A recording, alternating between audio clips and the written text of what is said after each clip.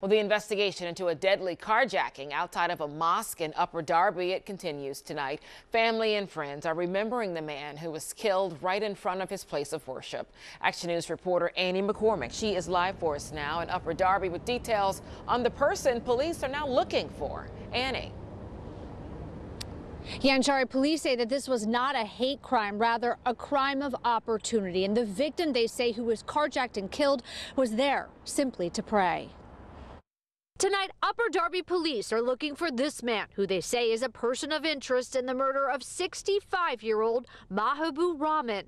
The husband and father of three was shot and killed in a carjacking outside of a mosque in Upper Darby Sunday evening. He lived in Philadelphia, where he worked as a corrections officer. Very honest, very upright family, very kind, very, very. Um,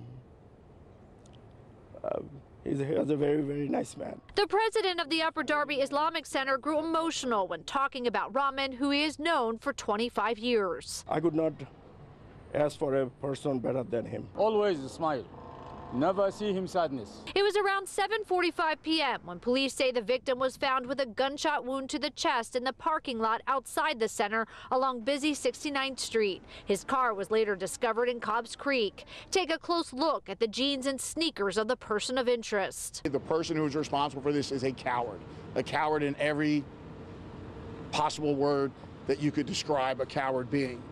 He could have taken that car and left Mr. Rahman there. He didn't. He chose to take his life. Even though police say this was not a hate crime, extra security measures will still be put in place. To the congregants, to the worshippers that they come here, the means of adding security measures and giving the, um, the community, the congregants, the worshippers a sense of safety. And the head of the Islamic Center says that that will include better lighting, also more surveillance cameras. Additionally, Upper Darby police will also have a larger presence there. For now, reporting live in Upper Darby, Annie McCormick for Action News at 10 on PHL 17. Shari. Yeah, very sad circumstances. Annie, thanks.